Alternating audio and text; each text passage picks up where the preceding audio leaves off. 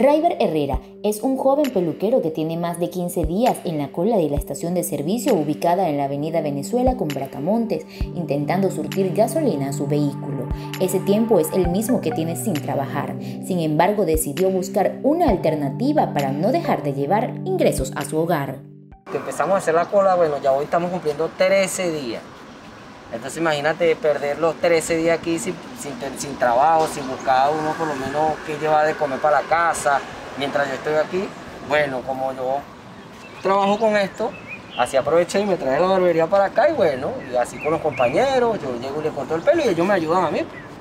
Y así yo por transferencia allá en mi casa casi no esté, mi esposa compra su comida y así le llevo el pan de cada día a mis niños. Al día logra atender a al menos 5 personas. Cada corte tiene un valor equivalente a un dólar que recibe a través de transferencias para que su esposa pueda comprar el alimento diario.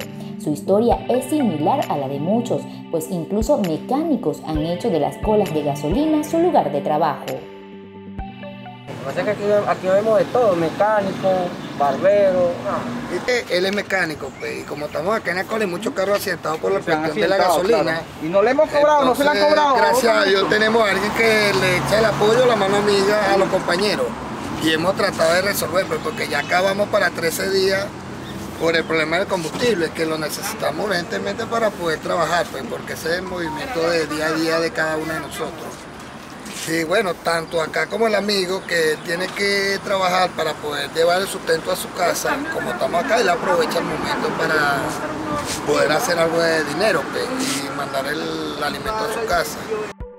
Quienes permanecen en las kilométricas colas en las estaciones de servicio aseguran que pasan hambre, sueño y se arriesgan a los peligros de la noche mientras esperan por la gasolina.